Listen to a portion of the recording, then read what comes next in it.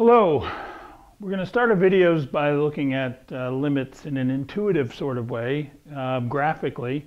And I've reproduced the graph, sort of, that you have in the written out problems that you have available to you. I encourage you to look at those problems. There's a reason why they've done out. They've shown how you're supposed to write things and there's a lot of different examples you can look at.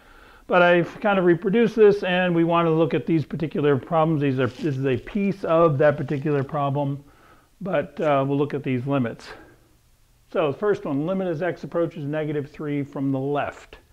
That means I'm approaching, my x value is approaching negative 3, but I'm only going to consider values of x that are less than negative 3. So my function then is approaching this way, and it is approaching that where that hole exists, that y value is 3.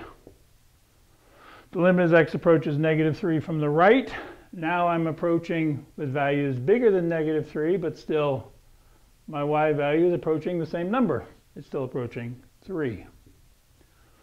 Since these match, the two, these are called one-sided limits, the two one-sided limits are the same, the limit as x approaches negative 3 is 3. Notice, however, f of negative 3 does not exist. There is no functional value associated when x equals negative 3. It's not defined. It's not in the domain. The limit as x approaches negative 1 from the left. Now I'm approaching here, and my y value is approaching negative 1. The limit as x approaches negative 1 from the right.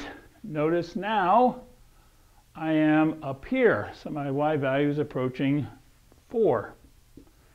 And since these,